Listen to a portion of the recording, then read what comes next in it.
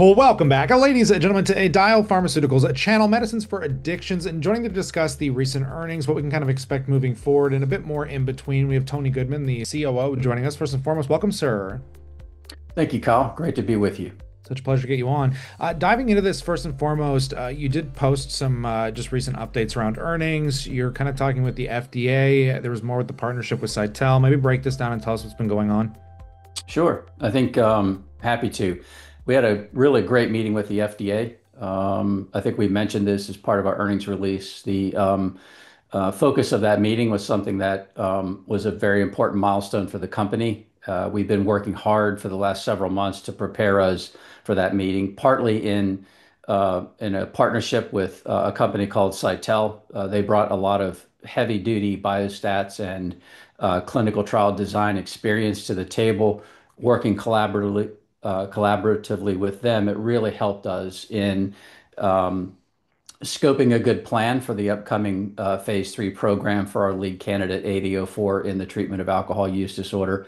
And I think that was reflected in our discussions we had with the, approving division. Eventually, this division, we will be submitting our uh, NDA to. Um, so this early alignment is important. And as a follow-up to that, our next steps essentially are that we need to you know, submit our statistical, full statistical analysis plan to them, as well as uh, our uh, updated protocol based on their inputs and feedback and things of that sort. So really excited about that.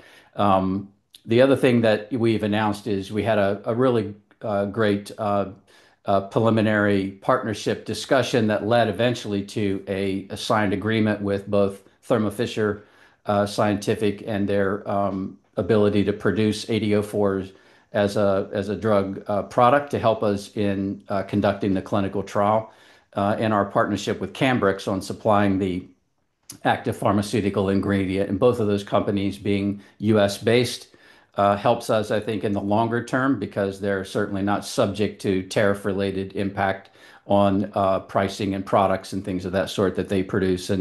Um, all of this, we believe, is helpful, going to be helpful for us eventually, um, and will renew interest, I think, in potential partnerships for the company, which is a key strategic pillar for us.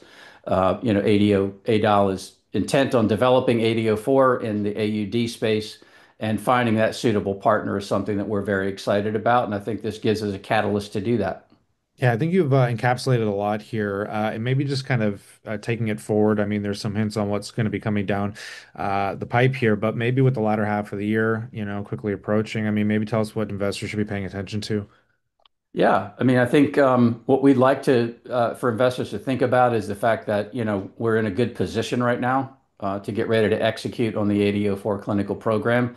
Uh, the importance of this trial design, I think, is that we'll get an interim analysis and a readout that'll help us, uh, you know, looking at more near-term, um, you know, inflection points for data.